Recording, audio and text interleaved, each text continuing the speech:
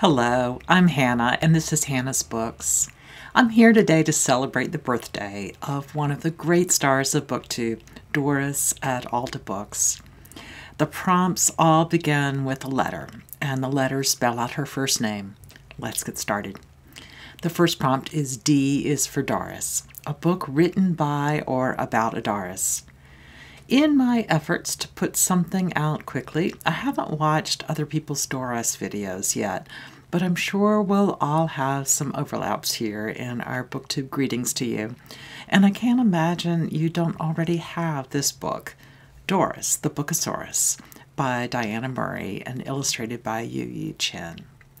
The description starts Hooray for books! They make me roar! The rhyming text tells the adventure of a group of young dinosaurs after being inspired by one of their childhood books. The second prompt O is for outside your comfort zone. I'll name some young adult fiction by John Green. Although, as a middle aged old lady, I honestly don't have a lot of interest in YA fiction. The work of John Green is a bit of an exception for several reasons, one of which I'll mention today.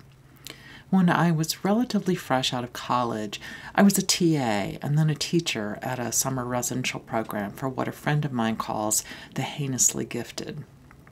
One summer, I taught Southern literature during the first term, and then was a teaching assistant during the second term for a class on imperialism and colonialism. At the end of the summer, my students presented me with a copy of The Lorax by Dr. Seuss, signed by all of them. Many years later, several years after I married a young man I met at camp that summer, our young YA aged son was reading through one of my bookshelves, found Dr. Seuss, and puzzled out all the handwritten inscriptions by my old students. He pointed to one is this that John Green? I immediately flash back to that kid in my class and his face and his style, and I was pretty sure it was indeed that John Green, even though I had never thought about it before. My homeschooled son and I had just watched his crash course history classes, and I had said over and over that he approached history in ways more similar to the way I approached history than anyone I'd ever seen. I wish I could take credit for that, but I suspect we might have both learned it from the main teacher of the class. Anyway, I contacted him through Twitter and asked if he had been in that class, and he confirmed that it was him. I really intended to insert a photo of that inscription of his here, but I can't figure out where the book is now. I suspect one of us put it in some special safe place. Choosing a special place is never a good idea. Next, R is for recommended.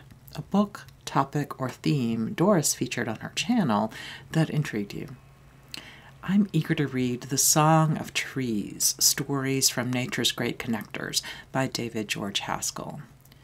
Doris's description of this work of nature writing with a strong literary style sounds fantastic and very peaceful.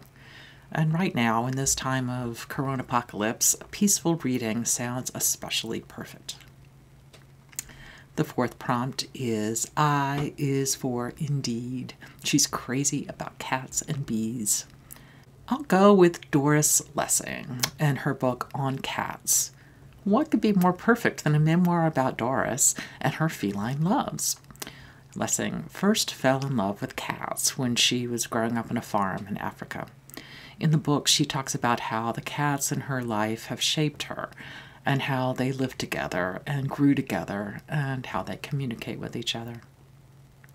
The final prompt is S is for Skyrocket, a book you think Doris might like and that you want her to read increasing her Tower of Doom. As a fellow Southerner, I'll recommend some Southern history for Doris. Yesterday, I mentioned Jacquelyn Hall's wonderful historical study written with a group of other historians, like a family, the making of a Southern cotton mill world. And it's a really beautiful read if you haven't seen it yet.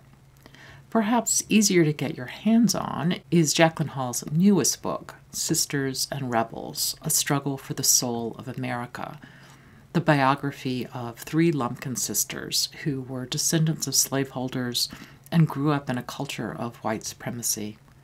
The three came to terms with how to go forward and how to shape how the region and nation would go forward in quite different ways. Sisters and Rebels was just awarded the PEN Bograd Weld Award for Biography. I think you might love her work, Doris, if you haven't seen it yet. So, that's it. Happy birthday, Doris. You've been a phenomenal force for good on BookTube, and I am so glad to get to celebrate with you. Thanks for inviting me to the party, Sean, and thanks to all of you for joining me here on Hannah's Books. See you soon.